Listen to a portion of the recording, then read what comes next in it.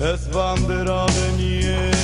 Estamos de vuelta en el arriero con Patricia Mes, investigadora del Instituto de Estudios Peruanos, quien nos está eh, explicando cuáles son los problemas de la educación peruana, que normalmente en todo el debate que se está dando actualmente eh, nadie explica, ¿no? Estamos discutiendo que la ley o el artículo o el SUTEP. Pero bueno, vamos a hablar del SUTEP también. Eh, SUTEP es una palabra que todos conocen, creo, en el Perú. Un sindicato histórico que ha tenido una trayectoria muy larga, huelgas, eh, algunas de las huelgas más largas de la historia del Perú, hasta donde yo recuerde, eh, y que es un actor central en la educación. Eh, más allá del tema que seguramente traemos al final de la evaluación, el SUTEP eh, en los últimos años ha tenido como una crisis y de pronto surgió el CONARE o la CONARE, eh, que además se le ha se le ha vinculado, además está claro que tiene vínculos con el MOADEF, este movimiento de, sendero, ¿no? este sendero reciclado que pide la amnistía de Guzmán. Eh, lo primero que yo te quería preguntar es, ¿el SUTEP sigue siendo el, gremio que representa a los maestros? Eh, ¿Tiene que seguir siendo un actor con el cual el, el gobierno nacional y bueno, los gobiernos regionales también tienen que dialogar y tienen que sentarse en la mesa o ya no es ese SUTEP? Eh, ¿Cuál es la situación exactamente? Mira, yo creo que hay que partir por reconocer que los maestros peruanos han sido muy dejados de lado eh, por varias décadas. Eh, su desarrollo, sus condiciones de vida, su desarrollo personal y profesional ha estado al margen de las agendas de los últimos gobiernos. Yo creo que esta gestión tiene la intención de cambiar eso. Y, hay que reconocer que en ese tiempo de abandono, el sindicato de los trabajadores de la educación, el, sindicato único, el SUTEP, ha sido el, actor más importante que ha tratado de representar sus intereses. Algunos pensarán que lo ha hecho bien, otros que lo ha hecho mal, otros a medias, pero hay que reconocer que es uno de los pocos sindicatos que ha sobrevivido a todo el, la ola de destrucción de las organizaciones sociales y sindicales, que se ha preocupado de manera constante de garantizar la vigencia de los derechos laborales de los maestros, que también tienen como trabajadores derechos, no solo deberes. Y entonces creo que hay que reconocerle su importancia y su rol también político en el diálogo para mejorar las condiciones de vida y de trabajo de los docentes. Luego está el tema de que, bueno, como todo sindicato, como toda organización, tiene pues conducción política también de determinados grupos, ¿no? Y como en toda organización, a veces hay pugnas por el control político de una organización. Esta que tiene ahora no, no es la primera y quizás no sea la última, ¿no es cierto?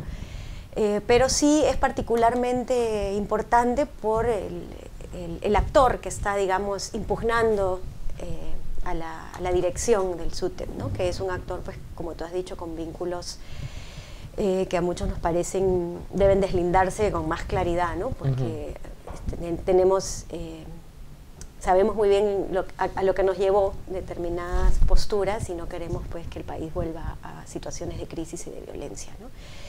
Eh, pero creo que también es bien importante distinguir ¿no? estos actores, ¿no? o sea, el SUTEP y el el grupo político que, lo, eh, que tiene la dirigencia en este momento, que es Patria Roja, no es lo mismo que el CONARE o el MOGADEF o Sendero Luminoso, ¿no? Son dos grupos políticos distintos y yo creo que gran parte del trabajo en los medios en estas últimas semanas ha sido confundir más que aclarar. Ahora, Mirko Lauer ha dicho que como, si bien Patria Roja lleva desde el año 80 participando en procesos electorales y nunca agarraron un fusil, digamos, ¿no?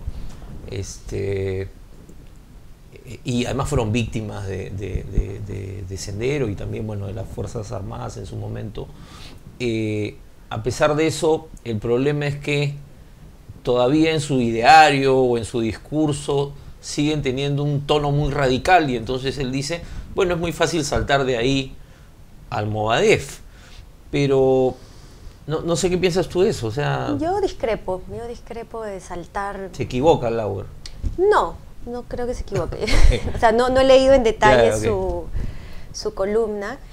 Eh, yo creo que Patria Roja ha jugado el juego democrático con las reglas democráticas desde los 70s y 80s. Eh, siempre se, distribuye mucho una foto de Horacio Ceballos con un fusil de madera, pero era más una imagen de esos tiempos, además, ¿no? De los tiempos del culto al Che y ese tipo de cosas. Además, él era candidato a la presidencia en ese momento. ¿eh?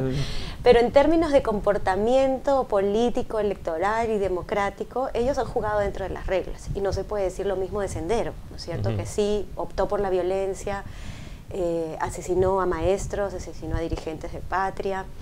Entonces, por eso a mí me parece bien importante diferenciar estas, estas dos tendencias políticas eh, o posturas políticas y acciones, ¿no?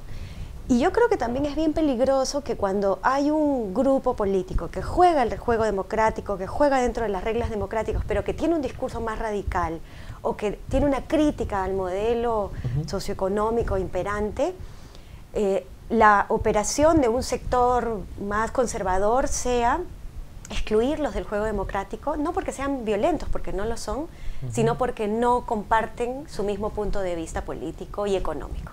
Entonces, ¿de qué democracia estamos hablando? Si cuando una postura radical no puede expresarse. Bueno, es lo que pasa con Gregorio Santos, ¿no? el presidente regional, pero hay algunos que parece que no lo quieren reconocer como tal. Ahora, se ha dicho además que el CONARE es Movadef, casi como un sinónimo. Y entonces algo así como que todos esos maestros son senderistas. Eso también ha salido en algunos medios, ¿no? Que acostumbran siempre hacer estas operaciones. Eh, más allá de la dirección, ¿tú crees que esto, esto es real? O sea, que todo el magisterio de Puno, Ayacucho, Huancavelica se convirtió en senderista este, de la noche a la mañana. por los problemas que tiene, creo yo, con la directiva nacional del sindicato. ¿Tú crees que esto es...? No, yo creo que, o sea, puede haber un grupo en el CONARE que conduce y que puede tener vínculos con, uh pero el conjunto de maestros que están movilizados está también expresando su descontento pues con estas condiciones de trabajo y de vida en las que están hace décadas. Ahora con la discusión de la ley, por ejemplo, se decía esta cuestión de que llevan seis años con los sueldos congelados otra vez, porque antes del gobierno de Toledo ya llevaban como diez años con los sueldos congelados.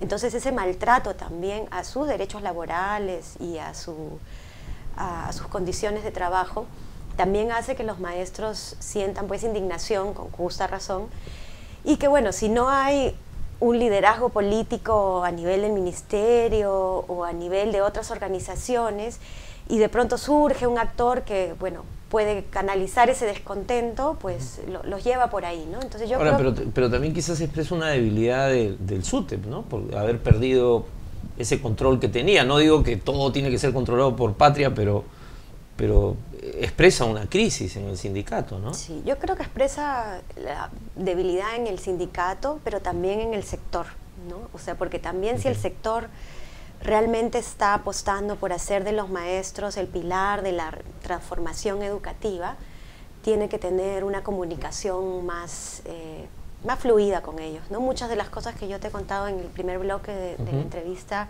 no están bien difundidas, no se conocen, no están bien comunicadas, entonces también... no solo no lo conocemos acá, sino los, propios maestros. Los beneficiarios de estas medidas no, no estarían... ¿Eso es lo que estás diciendo? Sí, yo creo que sí. Entonces hay debilidad en el SUTEP que también tiene que repensar las formas en que renueva directivas, cargos, sus propias reglas democráticas, no solo en el juego democrático nacional, sino en el juego democrático interno del sindicato que también ese fue el cuestionamiento, por ejemplo, de la crisis anterior, que fue en el gobierno de Lynch, no sé si te acuerdas, que surgió un grupo como de maestros democráticos. Pero cuando Lynch era ministro, porque no claro. todavía no nos ha gobernado. no, en la época de Lynch como ministro, de Educación, en 2001 me parece que fue. Había un, un, grupo del magisterio que exigía una renovación también de las reglas democráticas al interior de la conducción del SUTE, ¿no? Eh, y bueno, esa crisis se resolvió a favor de Patria finalmente, pero yo creo que parte de, esa crisis es lo que se arrastra en este momento de, de liderazgo. Claro, habían sectores hacia la izquierda de Patria y a la derecha de Patria Y claro, y en Ayacucho, yo me acuerdo en Huancayo, ¿no? el liderazgo de Robert Guainalaya, que, Claro, que ya en ese momento se hablaba de, de- decían el neosenderismo, pero en fin, pero el sector no hizo nada, no reaccionó. ¿no? Claro, por eso digo, no es la primera ni la última crisis, ¿no? Creo que esta crisis la debemos aprovechar para reflexionar, bueno, eh, tanto el SUTEP como, bueno, ¿qué, qué es- nos dice esto respecto a la necesidad que tenemos de renovar nuestro, nuestra gestión política y sindical, pero también del sector, porque también cómo dejas solos a tus maestros eh, en un enfrentamiento con grupos eh, de los cuales no tienes certeza en, en cuanto a sus reglas de juego democráticas, por ejemplo. Ahora, Patricia, se nos ha ido el tiempo. Una última pregunta, ¿no? Eh, a pesar de estos problemas que tú señalas de, falta de comunicación del ministerio, ¿no? Yo también creo que han comunicado muy mal todo el tema de la ley de desarrollo docente, una incapacidad para transmitir con claridad lo que querían hacer. Eh, ¿Tú crees que esta es una gestión que debe continuar? Porque en el Congreso ya quieren eh, no solo interpelarla, lo que quieren es censurarla y hay sectores que, que, empujan hacia eso. ¿Tú crees que esta, esta gestión está bien encaminada? No solo por lo que hemos conversado, sino por los, los aspectos que, las mejoras que plantea la- el tema de carrera magisterial.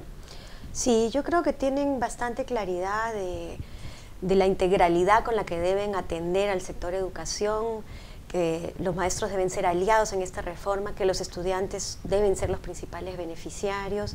Creo que tienen claridad en las cosas centrales y que tienen un conjunto de programas encaminados hacia esta mejora de la educación y que bueno, necesitan mejorar su comunicación y quizás también su liderazgo político y su comunicación con los maestros, pero que sí es importante darle continuidad a una gestión que, o sea, en un sector como educación tú no puedes estar cambiando cada año de ministro, ¿no? Tienes que tener una continuidad de años para lograr resultados. Claro, porque la las validaciones de, de los procesos educativos toman cuánto tiempo.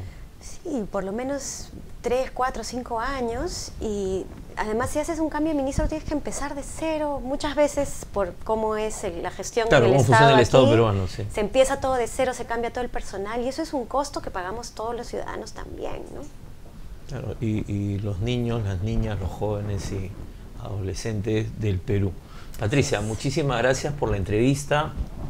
Te voy a invitar otro día para hablar sobre el tema de educación y género con más detalle, porque es un tema también eh, que hemos conversado acá con algunas dirigentes amigas y que hay toda una agenda ahí pendiente, que yo sé que tú has trabajado ese tema hace unos años también. Y bueno, eh, nada, esperemos pues que eh, Patricia Salas, tocaya de Patricia Ames ministra, pueda pues capear esta crisis y que estas propuestas, este cambio, que no solamente es el tema de la ley de desarrollo docente, encuentre su cauce para que no sigamos con experimentos, eh, en algunos casos, eh, no sé cómo decirlos, ¿no? Eh, inspiraciones eh, divinas como las que tiene, como las que tenía o tiene el expresidente García, que un día se le ocurrió crear los colegios emblemáticos. Bueno, muchísimas gracias Patricia y volvemos en un instante con Rocío Silva Santisteban, secretaria ejecutiva de la Coordinadora Nacional de Derechos Humanos.